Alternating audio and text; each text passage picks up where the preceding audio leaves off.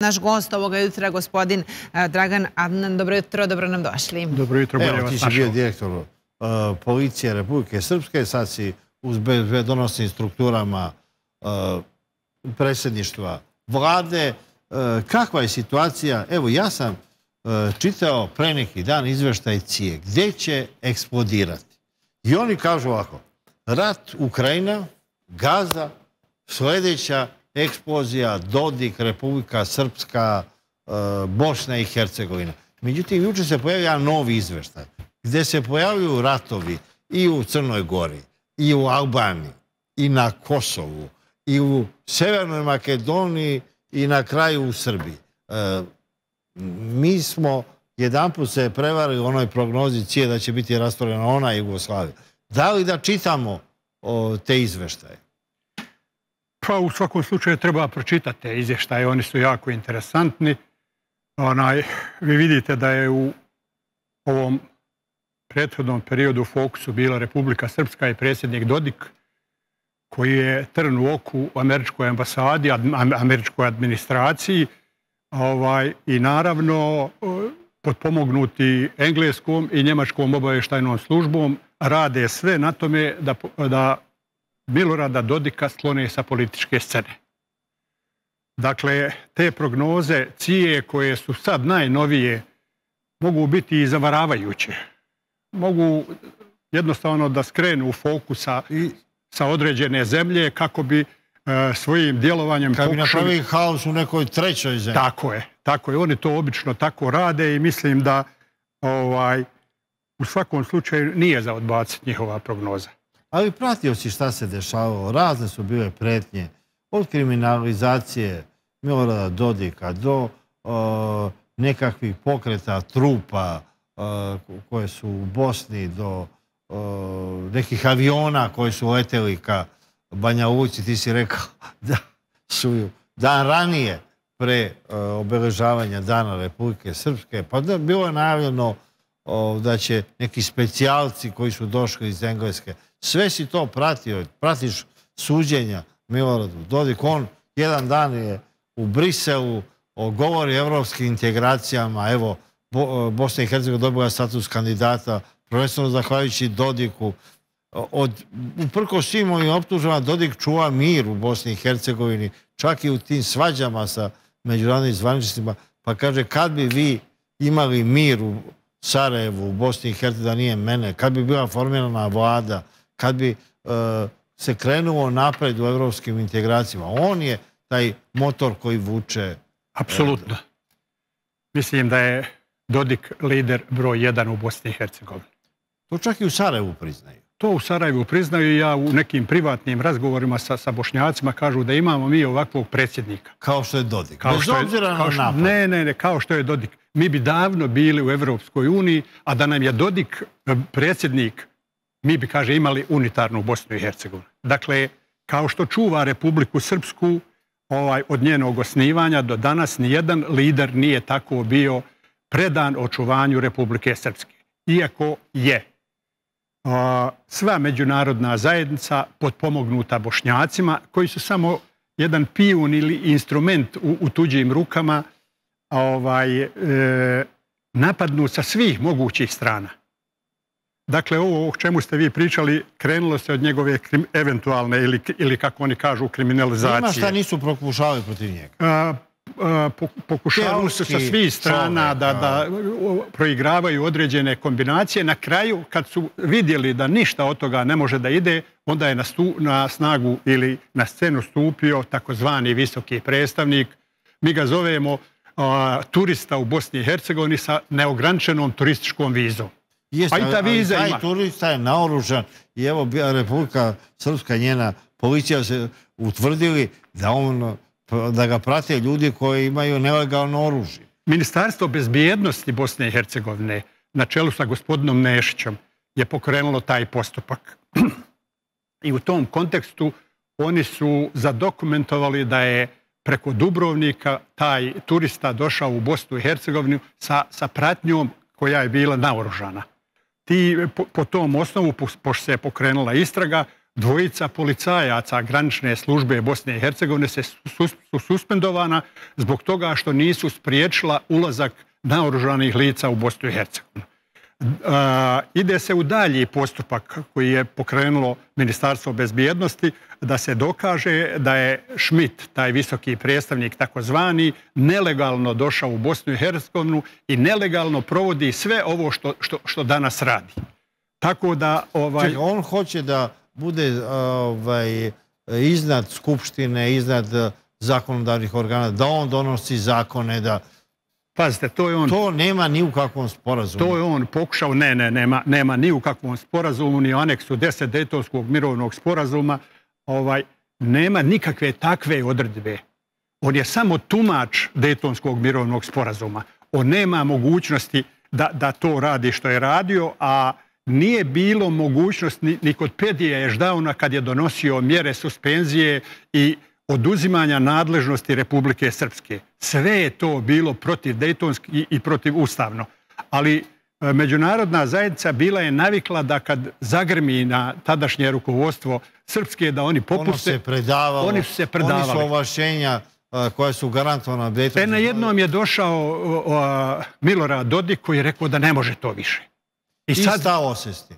Naravno da se je stalo. Otimanje imovine Republike Srpske, on je ustao u odbranu i šuma, i poljoprivrednog zemljišta, i reka, i rudnika, e, sve ono što je prirodno bogatstvo. Ma to je e, predsjednik Dodik davno prozreo tim pokušajem, praktično dolazi do unitarizacije Bosne i Hercegovine. I on kao takav je zasmetao Dobro, i on je rekao da jedini funkcionalni deo Bosne i Hercegovine, prvo Republika Srpska. I to je uspostavljena vlad. Dok evo, u drugim delovima i Bosansko-Hrvatske federacije, e, to ne može da se uspostavi ni kantonalna vlast, ni izbori.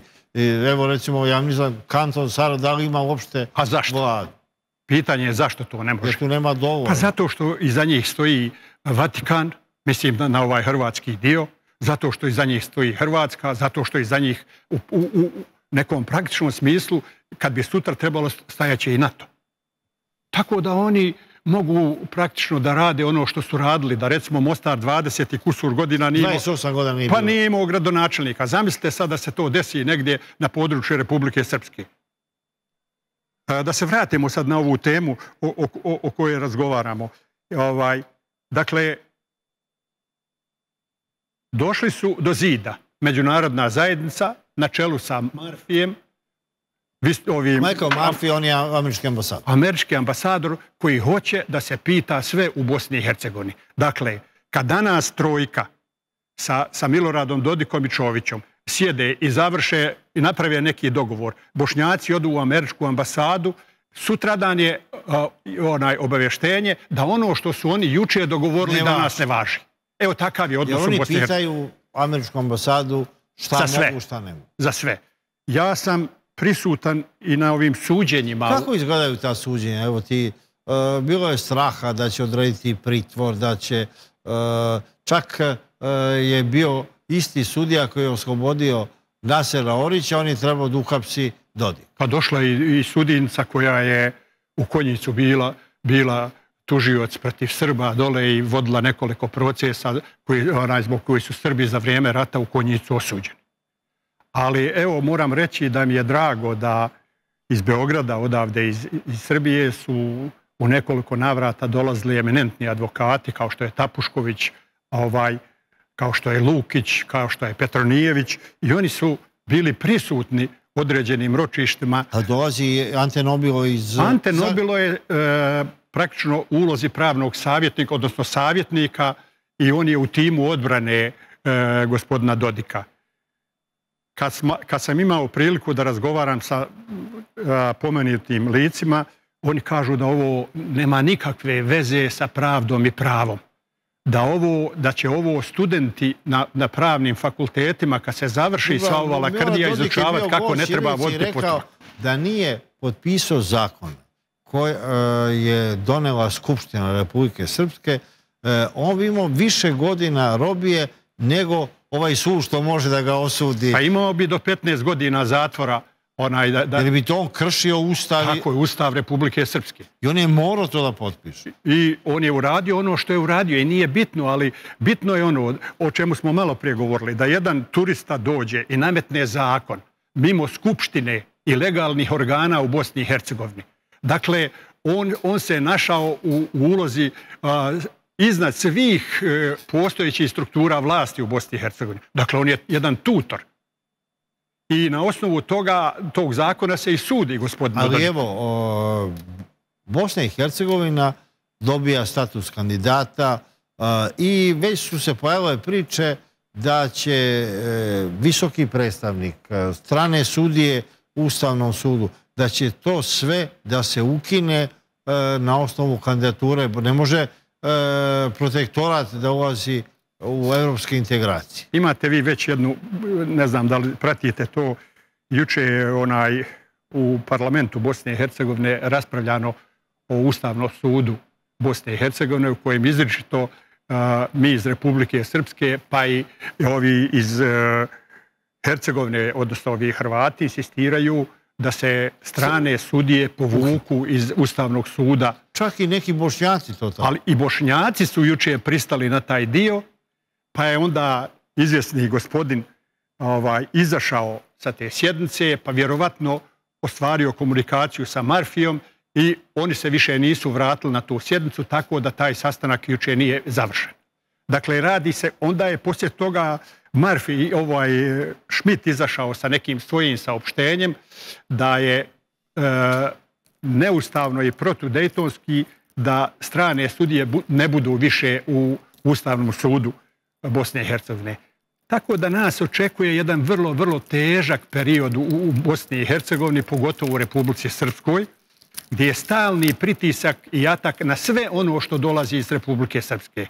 I moram vam reći da ta mržnja, ja to moram tako reći, ta mržnja nikad nije bila veća na prostorima Bosne i Evo, ti si Hercegovine. bio profesionalac i pred rat. O, ova mržnja koja sad postoji sad, pa ona je veća nego ono u oči rat. Ma ja, e, da vam iskreno kažem, to vidim na terenu. Ja ponekad odem u to moje rodno Sarajevo i sa sve manje želje idem dole kad vidim neke stvari koje se, se dešavaju dole. Imam još uvijek nekoliko prijatelja dole koje posjetim, popijem kafu. I su obnovljena ta predratna prijateljstva, ljudi, Pa vidite, ljudi koji su držali neka prijateljstva prije rata, a onaj drže vjerovatno još uvijek kao što ja imam sa dvojicom, trojicom, a ono a neka šira prijateljstva su prekinuta. Nemamo mi više te komunikacije. Na kraju ovaj sve što prokomentarišete i kroz ove neke medije, onda je s druge strane to pokušava se prenijeti na ovaj nacionalni dio. Tako da ljudi izbjegavaju konflikte u, u tom dijelu. Mi smo svjesni te situacije i mi smo ovaj u Banja Luci sagledavajući sve ukupnu situaciju u Bosni i Hercegovini i Republici Srpskoj onaj, osnovali pokret za odbranu Srpske. Evo, ja, Evo, evo, evo ovaj, vidjet ćemo. ako možete, Ako može režija da e, snimi, e, nismo... E sad, e, e, reci, ko je u tom? To su borci, to su ljudi koji su stvorili Mi smo se okupili tu oko doktora profesora Darke Matijaševića, a tu su penzionisani oficiri, generali, On je policijski. bio šef kabineta Maneva Milovanovića, general. On je bio i ministar unutrašnjih poslova. Ministar unutrašnjih poslova koji je odbranio MUP Tako je, od, ovaj, i tu su eminentni profesori i predavači i mi sad e, pod e, motom napadnuta srpska odlučna odbrana idemo po mjesnim zajednicama u Banja Luci, držimo tribine i upoznajemo narod o stanju u Republici Srpskoj ovaj, i Kako su reakcije? Ljudi razumeju kako e, je opasnost Republika Srpska. Pazite, mi smo prvo iznenađeni odzivom. A onda, pošto na kraju tih tribina ostavljamo mogućnost postavljanja pitanja, ljudi se u tom kontekstu javljaju. Ljudi ponekad nisu ni svjesni ugroženosti Republike Srpske. A pogotovo taj dio, da kažem, uži dio Banja Luke koji se uljuljkao malo u, u svoje fotelje, u svoje, ovaj, svoj dobar biznis i svoja putovanja i ostalo nisu svjesni da šta može sutra da se desi sa Republikom Srpskom i šta bi bilo i sa njima kad bi došlo do unita- unitarizacije Bosne i Hercegovine. Ovaj, mi tu pokušavamo na jedan e, način da im objasnimo kako je dolazilo do rata i kako se e, širila ta negativna energija prema Republici Srpskoj i zbog čega. Evo nekoliko primjera, recimo ovaj, šta se između ostalog sve napada. Mi imamo doktora Đajića Vladu, direktora kliničkog centra u Banja Luci, koji je otišao iz humanih razloga u Hag da pregleda generala Mladića. Ni- Niste ni svjesni To koliko je bila jedna lekarska komisija. Maljekarska komisija koja je otišla, pregledala čovjeka, odredila mu novu terapiju i imam informaciju da je Mladić mnogo bolje poslije te njihove posjete. Niste ni svjesni koliko je e, to Sarajevo se okrenulo sad protiv jednog humaniste, doktora Vlade Đajića i šta sve ne pišu o- oko njega. E sad zamislite, molim vas, pošto je svaki dan predsjednik Dodik u, u fokusu, šta sve i na koji način oni rade prema, prema predsjedniku Dodiku. I krajnji cilj je nestanak Republike Srpske, unitarizacija Bosne i Hercegovine, a onda dolazi do prepuštanja svih resursa o kojima ste vi malo prije razgovarali, rudni bogastava, šuma, rijeka, plodnih oranica, sve bi to stranci uzeli kao što su uzimali po Kosovu ova Olbrejtova i, i, i, i ovi ostali. imamo situaciju da evo za budućnost Bosne i Hercegovine i uopšte za region i Crnu Goru i Srbiju, Buk Bijela to treba da spase e, energetsku sigurnost e, svih ovih zemalja i Sarajevo je protiv toga jer Srbija u tome učestvuje. Sarajevo je protiv svega u čemu Srbija utiče. Pa oni čak ne dozvoljaju ni put za Sarajevo. Iako Erdogan i Vučić su propagatori tog I, I imaju pare, pare su već, što kažu, na računima. Jer kao ne treba im put za Srbiju. ne, nije tu problem. Problem je kod trojke sljedeći. Ovaj, prvo su dogovorili da taj put ide od, od Višegrada, Rogatice, Sokolac, Sarajevo. Sad je nova trojka na, na čelu sa Konakovićem e, konačno, što kažu, otvorila karte i rekla ne interesuje nas taj put. Nas na, taj i put interes je preko Goražda da spojimo Sanđak. A oni već prave jedan veliki To je tunel. ona zelena transverzala. Tako je. I to je napokon se otvorilo ovaj, tako da sve ovo što dolazi iz Srbije se u Sarajevu osporava, ali će se ipak Buk Bijela raditi koliko ja znam a, i pored protivljenja Crnogoraca koji su pod pritiskom Amerike da ne daju da se to radi jer je to na prostorima Republike Srpske. Hvala. Hvala, hvala.